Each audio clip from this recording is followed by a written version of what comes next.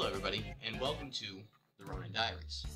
Today, I would like to take just a little bit of your time and discuss my favorite series and the future of of my favorite series, and that, of course, is none other than Naruto.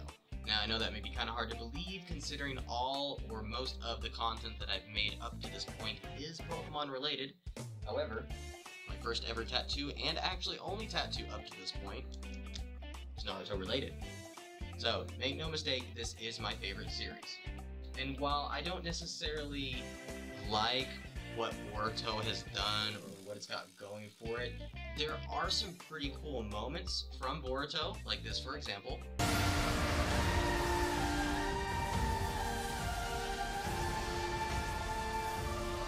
However, um, I think Boruto's a bit lacking, and I feel that I'm not the only one in the community that feels this way. So, I wanted to discuss something a little bit different than Boruto. Instead, what I wanted to discuss is Naruto Top 99. In case you don't know, Naruto Top 99 is a worldwide poll where people are allowed to put in their votes on which character is their favorite, and this poll was actually set up because our Lord and Savior, Kishimoto himself, is allowing us to decide who the next protagonist of his series is going to be instead of just arbitrarily deciding himself, which I think is amazing. Ultimately, by doing this, Kishimoto not only is going to let us decide the series and please the largest majority of fans, since the most popular character will win, but this will let Kishimoto know which characters to keep in his back pocket, in his back pocket, as plot devices for just general world building into the story. And today, I would like to give my opinion on who I think it should be. Now, it should be said that two things. One, the voting for this poll is closed. It's been closed for a little bit now. And two, we're going to be getting our results in April, so right around the corner. Um, but with those points in mind, I do think that my character is a very popular character. My character definitely could be the protagonist of a story, but I don't think they will be.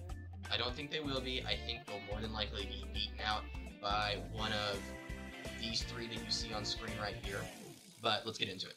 So, who should the next Naruto series be over? Well, in order to fix the damage that Boruto has caused to the Naruto community and Naruto's kind of just image in general, I feel like the protagonist needs to, out the gate, needs to be a character that most everybody can like.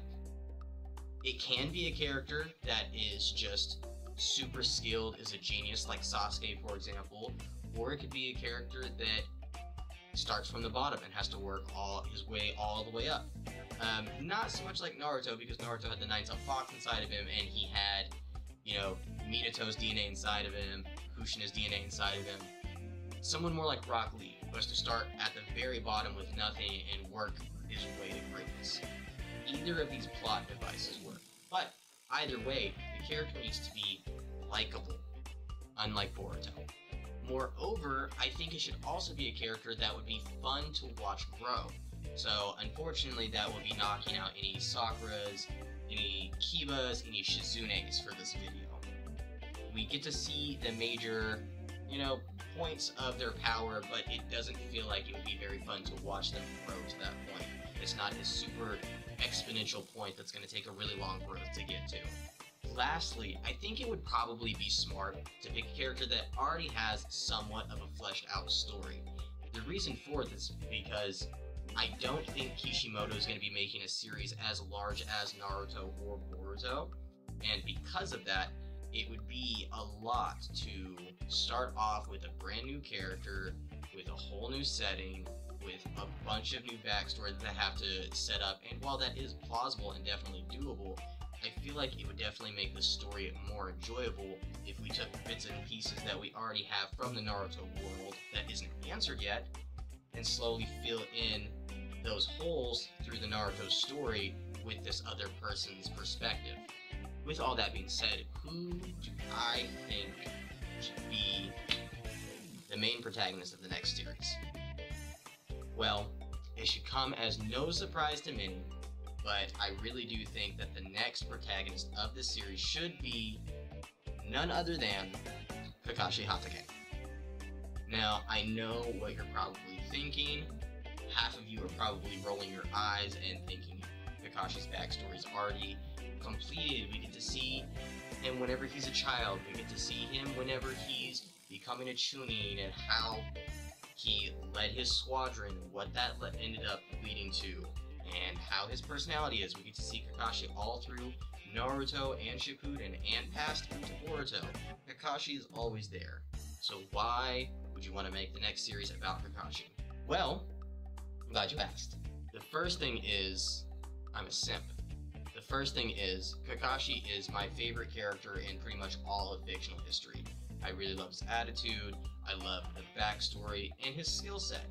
He starts off as this super domineering character that just kind of takes charge, leads the way, he's super aloof. There, in part one, it felt like there was you know, a lot more there that we were needing to get to, and then that was delivered in Shippuden. However, that being said, there are still so many things that we could answer through Kakashi instead of making a whole new series about somebody like, for example, Sakumo, his father, or Minato, his sensei. While those series would be nice. I do want to mention, um, I'm, I've probably spoiled a few things a little bit if you haven't seen the series up to this point, but from this point going forward, there is a potential spoiler warning, spoiler warning if you haven't seen all of Naruto and Shippuden. So if you do have to tune out here, thank you so much for watching, and if you can, please subscribe. I do appreciate it. Now, getting back to it.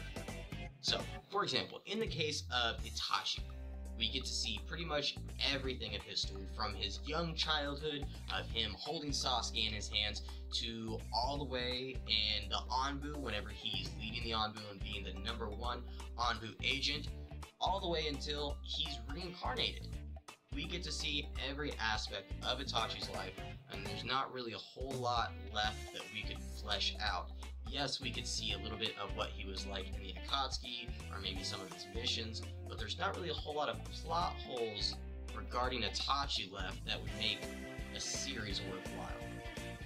Now, characters like Madara or Hashirama, these are amazing characters, very prolific characters, and they definitely have an air of mystery surrounding them. But what makes Madara and Hashirama so great as characters is their absolute peak of power no one's able to contest them. And unfortunately, we've already seen Madara, especially at his absolute peak, as long as well as Hashirama. We've definitely seen Hashirama at his peak as well.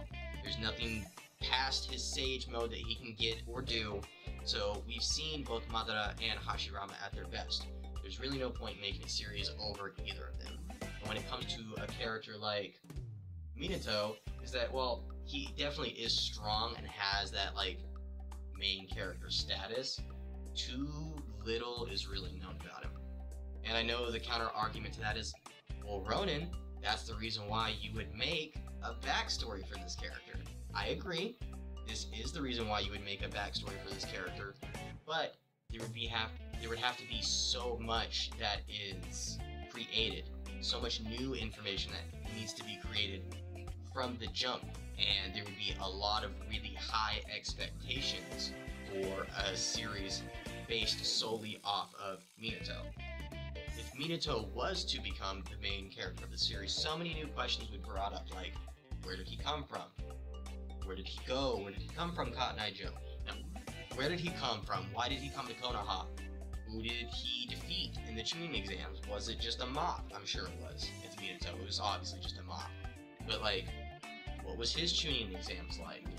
Was there any major events that threatened the village when Minato was Hokage, or was, aside from the Nine-Tailed Fox, or whenever he was Jonin or a Chunin? Was there any major events that he had to fight against? There's just so much that would be dropped onto Kishimoto's plate and such a high expectation that there would be more room for it to fail. But with Kakashi, we already have a good skeleton for a story with plenty of things already at our disposal to fill in some of that status. Um, for example, we see Kakashi's life all the way from a young child to his current status of Boruto as ex-Hokage.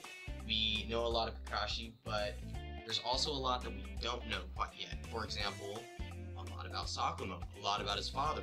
We could have a whole series about Sakumo, or we could have a bunch of flashbacks of Sakumo through Kakashi. We could have stories that Sakumo told Kakashi whenever Sakumo was still around. We could have a whole episode, or maybe two episodes, devoted solely to conversation between Kakashi and Sakumo whenever Kakashi saw him in the afterlife. There's a lot there that could be built upon with Kakashi as the center of the story. Same thing with Minato. Minato could be telling Kakashi stories about where he came from or why he came to Konoha, how he fell in love with Kushina. All of these things don't necessarily have to be a whole story on their own, but necessarily mini stories to fill in an already decently built skeleton. And one major thing that we know about Kakashi that we haven't gotten to see is what is his nickname? He's the copycat ninja, right? What is the copycat ninja known for? But after this mess, I've reached my boiling point. I'm Kakashi, the copy ninja. I know a thousand jutsu, and now I'll use them all and live up to my name.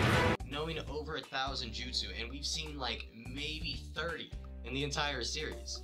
I don't know about you, but I would love to have a small series, and we don't even have to obviously see him learn all 970 different jutsu, but I would love to see a series where Kakashi goes through and learns several different jutsu over several different episodes, and we can see how he uses each new jutsu tactfully and gets out of the situations that he gets into.